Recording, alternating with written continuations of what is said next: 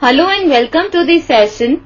In this session we will discuss presentation of bivariate data. Now we will see what is bivariate data. It consists of the values of the two different variables that are obtained from the same population element. Each of the two variables may be qualitative or quantitative.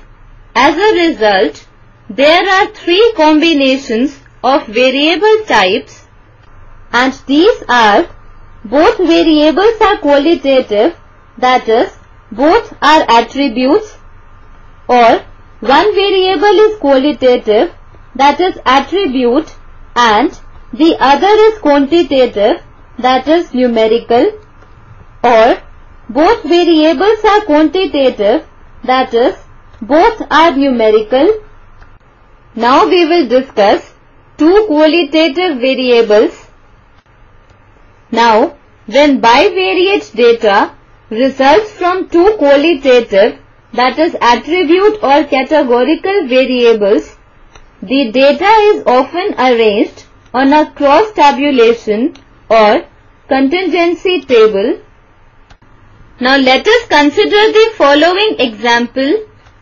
A survey was conducted to investigate the favorite subject of students between maths and science. The results are shown below. Now here the table shows that 20 boys like math and 25 like science. Also 10 girls like math and 30 like signs.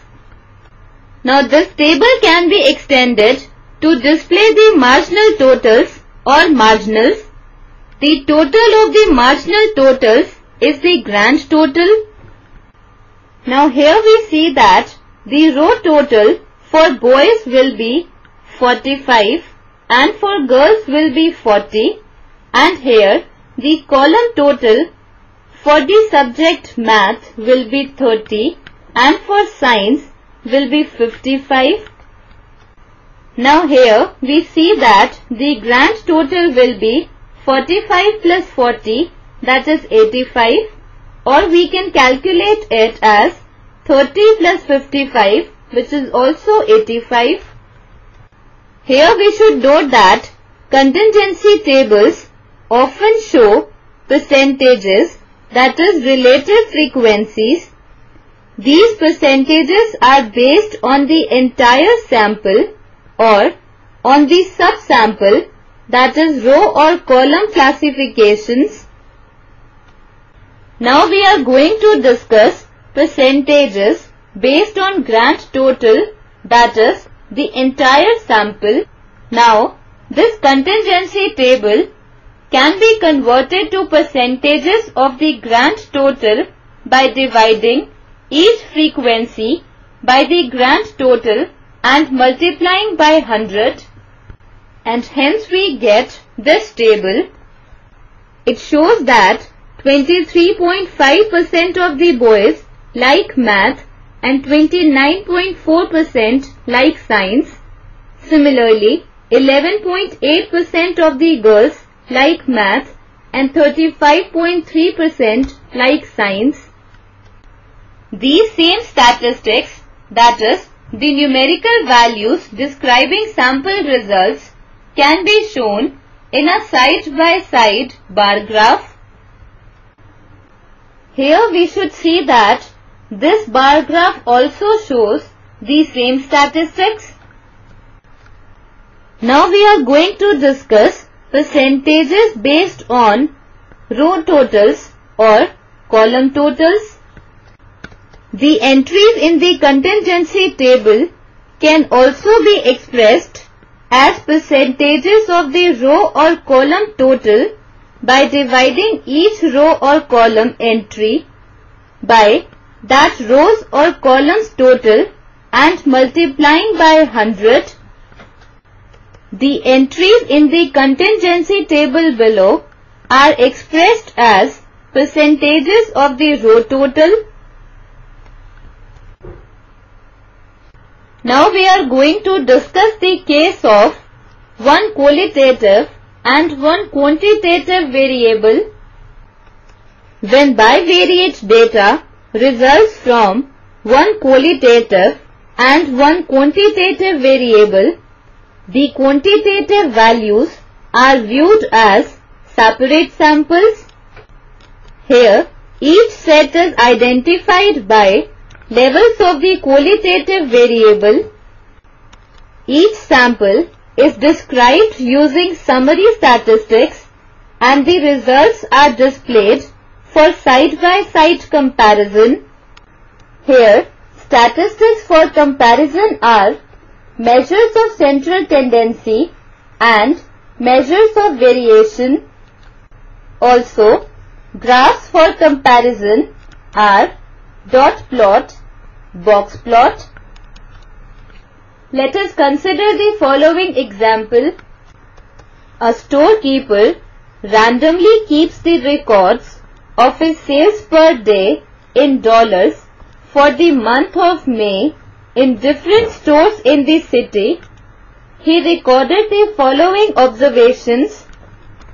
In the North region, the sales are given as 50, 25, 10, 50, 50, 10, 25, 10, 50 and 15 in dollars and in the west region the sales are 25, 35, 30, 50, 45, 25, 50, 27, 10 and 17 in dollars.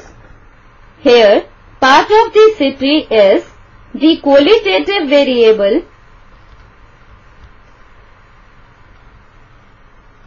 and sales is the quantitative variable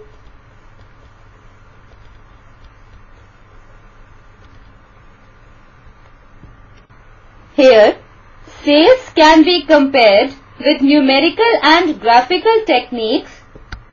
Here we will see its comparison using dot plot. Now here, this is the dot plot for the sales in north region and this is the dot plot for the sales in west region. From these dot plots, we can conclude that sales in west region are more than sales in north region. Now we are going to discuss two quantitative variables. Here, these variables are expressed as ordered pairs that is in the form of the ordered pair xy where x is the input variable which is independent and y is the output variable that is the dependent variable. Now here we are going to discuss scatter diagram which is a plot of all the ordered pairs of bivariate data on a coordinate axis system the input variable x is plotted on the horizontal axis and the output variable y is plotted on the vertical axis. Let us consider the following example. The given table shows weights in kilograms and ages in years of students. We have to construct a scatter diagram for this data. Now this is the required scatter diagram for the given data. Here we have taken age along the horizontal axis and weight along the vertical axis. Thus, in this session we have discussed presentation of bivariate data. This completes our session. Hope you enjoyed this session.